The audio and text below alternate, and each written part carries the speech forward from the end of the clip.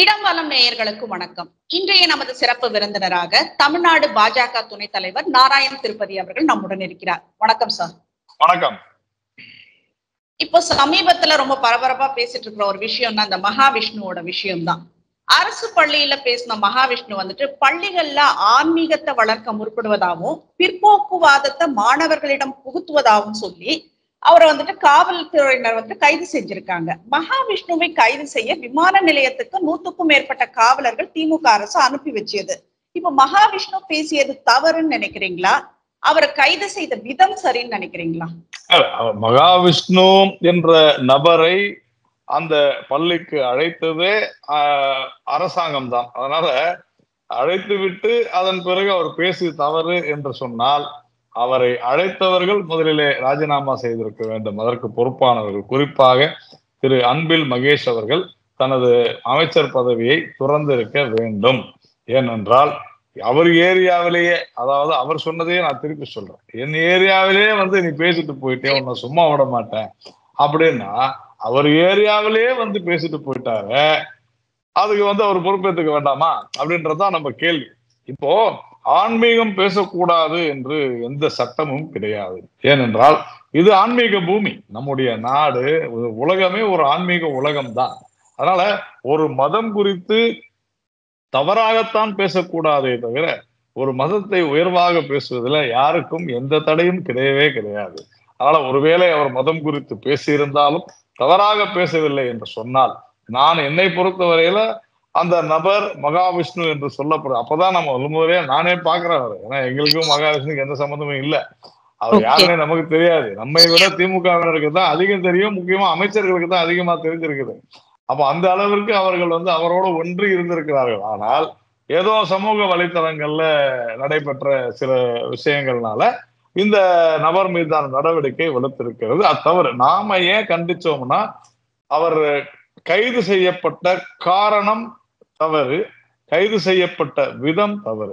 ஏதோ ஒரு பெரிய இருநூறு போலீஸ் ஏர்போர்ட்ல ஒரு நபரை பிடிக்கிறதுக்குன்னா அப்போ இதுல ஏதோ பிரச்சனை இருக்குதுன்னு தான் அர்த்தம். அப்போ இதற்கு இதற்கு யாரேனும் பொறுப்பேற்க பொறுப்பேற்க வேண்டும் என்று சொன்னால் அது கல்வித்துறை அமைச்சர் திரு அன்பில் மகேஷ் அவர்கள் தான். அதனாலதான் மகாவிஷ்ணுவனுடைய அந்த கைதை நாம் கண்டித்தோம்.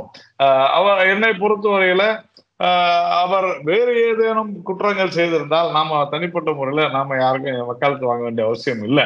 எதற்காக கைது செய்தீர்கள்? அது தவறு. அரசினுடைய நாம் சொல்லுகிறோம் பாசிச அணுகுமுறை இது என்றுதான் நாம் கண்டித்தோம். இப்போ மகாவிஷ்ணு வந்துட்டு அருணகிரிநாதரை பத்தி தவறா பேசி இருப்பதாகவும் அதை பாஜக ஆதரிக்குதுன்னு தான் திமுக தரப்புல இருந்து தொடர்ந்து வாதங்கள் முன்வைக்கப்படுது.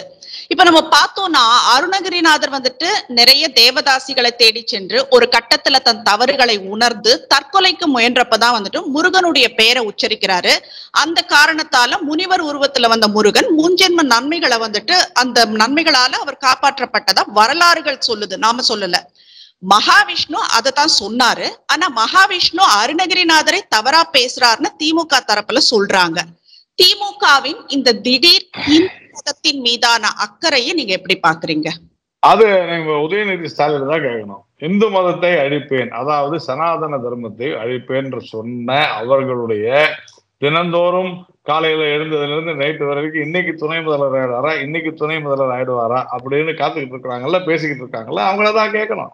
ஏனென்றால் இந்து மதத்தை பழிப்பதற்கென்றே ஒரு கட்சி இருக்கிறது என்று சொன்னால் அது திராவிட முன்னேற்ற கழகம் தான் அதனால இந்து மதமானாலும் சரி ஆஹ் பிராமண ஜாதி ஆனாலும் சரி இவர்கள் தொடர்ந்து நிந்தனை செய்து கொண்டு துவேஷித்துக் கொண்டே இருப்பதுதான் இவர்களுடைய வழக்கம் பழக்கம்.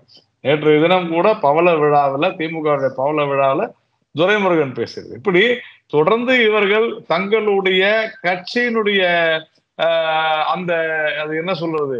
ஆஹ், அவர்கள் அன்றைக்கு சந்தோஷமாக இருக்க வேண்டும் கைத்தட்டுதல் பெற வேண்டும் என்பதற்காக இஷ்டத்துக்கு பேசுறாங்க. இது தவறான விஷயம். இப்ப இதுக்கு அடுத்தது நம்ம பார்க்க போனா ஒரு சோகமான ஒரு விஷயம். இந்த குன்றக்குடி சண்முகநாத திருக்கோவில சேர்ந்த யானை ஒண்ணு சமீபத்துல அது தங்கியிருந்த கூடாரத்துல தீ விபத்துக்கு இரையாகி இருக்கு அதனால ஏற்பட்ட காயங்கள்ல இருந்து மீண்டு வர முடியாம இறந்து விட்டதை பார்க்க முடிஞ்சது. குன்றக்குடி கோவில் அறநிலையத்துறை கட்டுப்பாட்டுல வரலன்னு சொன்னா கூட இது போன்ற சம்பவங்கள் நடப்பது பலரது மனதையும் அந்த வீடியோ எல்லாம் பாக்குறப்ப ரொம்ப உருக வச்சிருக்குன்னு தான் சொல்லணும். இந்த விவகாரத்துல உங்களுடைய கருத்து என்ன சார் இது போன்ற சம்பவங்கள் தவிர்க்க எதிர்காலத்துல முன்னெச்சரிக்கை செய்யலாம்னு நினைக்கிறீங்க? எந்த பொது இடங்களாக இருந்தாலும் அது கோவிலாக இருந்தாலும் சரி அல்லது எந்த இடமாக இருந்தாலும் அங்கு இருப்ப இருக்கக்கூடிய அனைவருக்கும் தாவரங்கள் உட்பட விலங்குகள் உட்பட மனிதர்கள் உட்பட அனைவருக்கும் பாதுகாப்பு இருக்க வேண்டும் என்பதில் மாற்று கருத்தே கிடையாது. இப்ப நாம வந்து ஒரு பூங்காவிற்கு போகிறோம் என்று சொன்னால் அங்க இருக்கக்கூடிய ஒரு தாவரம் பாதிக்கப்பட்டிருந்தாலும் கூட உடனடியாக நாம் அதை சரி செய்கிறோம். அப்படி ஒரு யானை இருக்கும் அளவிற்கு ஒரு அலட்சியமாக இருந்திருப்பது என்பது தவறுதான். அதுல வந்து இதுல வந்து அது அறநிலையத்துறையாக இருந்தாலும் சரி அந்த மடத்தினுடைய நிர்வாகமாக இருந்தாலும் சரி அது அவர்களுடைய தவறு தான் இது உண்மையிலேயே அதுவும் யானைகளுடைய அந்த அழிவு என்பது தொடர்ந்து நடைபெற்று வருகிறது. நாம் அவர்களுடைய இடத்திலே சென்று ஆக்கிரமித்து வருகிறோம். இங்கு குன்றக்குடி இங்கு மட்டும் அல்ல. நீங்க வந்து நாடு முழுவதுமே பல இடங்கள்ல குறிப்பா தமிழ்நாட்டிலேயே கூட யானைகள் அறிவதை நாம் பார்த்து கொண்டுதான் இருக்கிறோம். இது தவறானதுதான். இதை நாம் சரி செய்து கொள்ள வேண்டும். நம்முடைய இது அனைவரும் சேர்ந்து எடுக்க வேண்டிய ஒரு முயற்சி. இப்ப தொடர்ந்து தமிழ்நாட்டுல எங்க பார்த்தாலும் இந்த கொலை கொள்ளைகள் நடக்குது. ஆனா அங்கொன்னு இங்கொன்னுமா நடப்பதை வச்சு அரசு விமர்சிக்க முடியாதுன்னு அமைச்சர் ரகுபதி சொல்றாரு. இன்னும் சொல்ல போனா பல அரசியல் தலைவர்கள் படுகொலை படுகொலை செய்யும் சம்பவங்கள் இந்த மூன்று ஆண்டுகள்ல அதிகரிச்சிருக்குன்னு தான் சொல்லலாம். இத பத்தி எல்லாம் கேட்டா விசாரணை நடக்குதுன்னு சொல்றாங்க. சட்ட ஒழுங்கு நிலை எப்படி இருக்குன்னு நினைக்கிறீங்க? இப்ப அரசு சட்டம் அதை பேணி காக்கிறத தவறி விட்டதா நினைக்கிறீங்களா? சட்டம் ஒழுங்கு என்பதே தமிழகத்துல இல்லை என்பதுதான் என்னுடைய கருத்து. ஏனென்றால் தொடர்ந்து நாம் பார்த்து வருகிறோம் கொலைகள் கொள்ளைகள் சங்கிலி பறிப்புகள் வழிப்பறிகள் தொடர்ந்து அதிகரித்து வருகின்றன. குறிப்பாக ஜாதி ரீதியான மோதல்கள் அதிகரித்து வருகின்றன.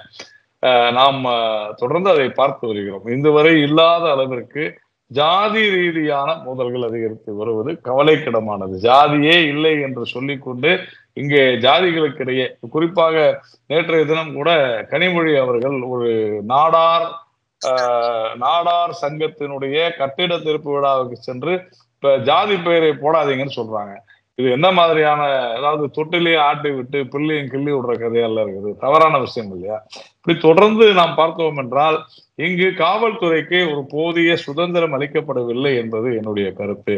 அதே மாதிரி குற்றங்கள் பெரும்பாலானவை. இதை நான் சொல்லவில்லை. பெரும்பாலான இடத்துல பாத்தீங்கன்னா டாஸ்மாக் பாருக்கு சென்று விட்டு மது அறிந்து விட்டு அதனுடைய போதையில நடைபெறும் கொலைகள் அதிகரித்து வருகின்றன. இது மிக மிக மிக மோசமான ஒரு நிலைமையாக இருக்கிறது. முழுக்க முழுக்க இந்த போதைக்கு அடிமையாகி தினந்தோறும் டாஸ்மாக் இது நான் சொல்லவில்லை. இதை சொல்வது அதாவது டாஸ்மாக் பாருக்கு சென்று அங்கே மதுருந்து விட்டு அந்த போதையில தன்னுடைய தந்தையை அடித்து கொலை செய்தான் மகன். மகன்.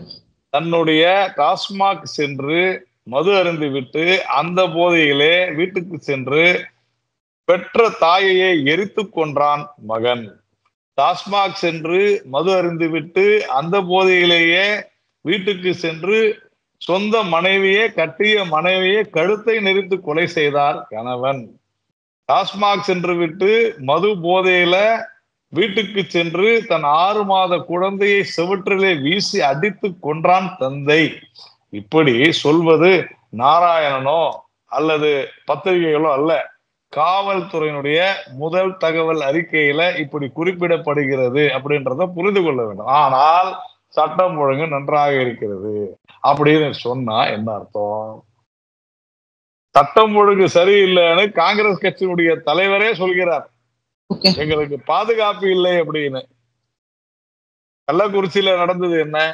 அதற்காக இப்ப கள்ளக்குறிச்சியில கூட்டணி கட்சியினுடைய தலைவர் திருமாவளவன் அங்க ஒரு பெரிய மாநாடு ஏற்பாடு பண்றாரு. அப்ப இங்க வந்துட்டு ஐயோ நீங்க மாநாடு பண்ணாதீங்க நாங்க ஆள் அனுப்புறோம் அப்படின்னு சொல்லி அவர் இப்ப ரெண்டு பேர் அனுப்புறாரு. நல்ல வேலை டிஆர் பாலுவையும் ஜெகத் ரட்சகனையும் மது ஒழிப்பு மாநாட்டுக்கு அனுப்பல. என்னன்னு தெரியும் உங்களுக்கு. அதனால இது முழுக்க முழுக்க இந்த அரசாங்கம் ஒரு மிகப்பெரிய நாடகத்தை அரங்கேற்று வருகிறது தமிழகத்துல. எங்கு பார்த்தாலும் கொலைகள் தினந்தோறும். பேப்பரை திறந்தா கொலை. டெய்லி பாக்குறோம் இது அனைத்துக்கும். இதுல எழுபத்தைந்து விழுக்காடுக்கு மேல இதற்கு காரணம் மது போதைதான். டாஸ்மாக்ல சென்று மது அருந்திவிட்டு போதை. இதுதான் விஷயமே. அதே மாதிரி சமீப காலங்களாக கடத்தல் அதிகரித்திருக்கு. கடத்திக்கிட்டு போறது. அதே மாதிரி சும்மா ரோட்ல கஞ்சா கஞ்சா புழக்கம் என்ற அந்த போதையில கொலை செய்வது அதிகரித்திருக்கிறது. பள்ளிகள்ல கல்லூரிகள்ல பார்த்துக்கிட்டு தான் இருக்கிறோம் நம்ம. அப்போ இது எல்லாமே கட்டுப்படுத்த இந்த அரசாங்கம் தவறிவிட்டது இன்னைக்கு ஒரு அதிர்ச்சி தரும் தகவல் பார்த்தோம் எண்ணூறு அதிகாரிகள் கஞ்சாவினுடைய அந்த தொடர்புல இருக்கிறாங்க. அந்த டிஸ்ட்ரிபியூஷன்ல இன்னைக்கு காலையில ஒரு பத்திரிகை செய்தியை படித்தேன் இதெல்லாம் இதெல்லாம் இந்த அரசாங்கத்திற்கு வந்து ஒரு மிகப்பெரிய இழுக்கை தேடித்தரக்கூடிய சம்பவங்கள். இதெல்லாம் கவனிப்பதற்கு இந்த அரசாங்கத்துல யாரும் இல்லை. இன்னைக்கு கூட ஒருத்தர் கேள்வி கேட்டாங்க. முதலமைச்சருடைய பாரத்தை இறக்கி வைக்கிறாரா உதயநிதி ஸ்டாலின் துணை முதல்வராக? நான் சொன்னேன் அவருக்கு என்னங்க பாரம் இருக்குது? ஏற்கனவே பாரம் மக்களுக்கு தான். இப்போ இந்த இந்து மதத்தை அழிப்பேன் அதாவது சனாதன தர்மத்தை அழிப்பேன்னு சொல்ற ஒருத்தர் வந்தா அது மேலும் பாரம் மக்களுக்கு தான் அப்படின்னு சொல்லி சொன்னேன். அந்த அளவுக்கு தான் இந்த ஆட்சி இருக்கிறது. இப்போ நடிகர் விஜய் இப்போ புதுசா வந்திருக்காரு. நடிகர் விஜய் வந்துட்டு ஓணத்துக்கு வாழ்த்து தெரிவிக்கிறாரு. ஆனா விநாயகர் சதுர்த்திக்கு வாழ்த்து தெரிவிக்கல. இந்த விவகாரத்தை எழுப்பி கேள்வி கேட்ட ஒரே கட்சி பாஜக மட்டும்தான். இந்த ஒன்றே குலம் ஒருவனே தேவன்னு சொல்லி பேரறிஞர் அண்ணாவினுடைய கொள்கைப்படி பயணிப்பதா விஜய் வந்துட்டு சொல்லிட்டு இருக்காரு. இந்த சூழல்ல அவரோட வாழ்த்து எந்த மாற்றத்தை ஏற்படுத்தும் நினைக்கிறீங்க? இல்ல நான் என்னை பொறுத்தவரையில ஒருவர் வாழ்த்து சொல்லவில்லை என்றால் சொல்லாது போகட்டும். மக்களுக்கு அது தெரியட்டும். விநாயகர் சதுர்த்தி வாழ்த்து சொல்ல மாட்டேன். ஆனால் பக்ரீத்துக்கு வாழ்த்து சொல்வேன் மில்லாடி நம்பிக்கை வாழ்த்து சொல்வேன் என்று சொன்னால் மக்கள் அதை புரிந்து கொள்ளட்டும். இவ்வளவுதான் விஷயம். அதே மாதிரி அது அவருடைய தனிப்பட்ட விருப்பமும் கூட. இப்போ நான் வந்து ஒரு ஒரு குறிப்பிட்ட பண்டிகைக்கு வாழ்த்து சொல்லவில்லை என்றால் அந்த பண்டிகையை பிடிக்காது என்பதற்காக அல்ல. இல்ல. அதனால நான் வந்து இதை நான் பெரிதாக எடுத்துக்கொள்ளவில்லை. விஜய்க்கு விருப்பம் இருந்தால் சொல்லட்டும் இல்லாவிட்டால் போகட்டும். அவரை வாழ்த்து சொல்லல அப்படி வாழ்த்து சொன்னாங்க ஒரு நாலு பேர் பாராட்ட போறாங்க. அப்பா பரவாயில்ல. நம்ம வந்து இவர் வாழ்த்து சார் இல்லைங்க அது அது ஒவ்வொருடைய தனிப்பட்ட உரிமையாக இருக்கலாம். நான் see இது வந்து பார்ட்டியினுடைய ஒப்பி ஒரு பார்ட்டியில இருக்கிறவங்களுடைய ஒப்பீனியன் வேற பார்ட்டியினுடைய ஸ்டாண்ட் வேற. நீங்க அதை புரிஞ்சுங்க நான் ஒரு மாதிரி நினைக்கலாம் அவங்க ஒரு மாதிரி நினைக்கலாம். அது உரிமை இருக்குது எல்லாருக்கும் உரிமை இருக்குது.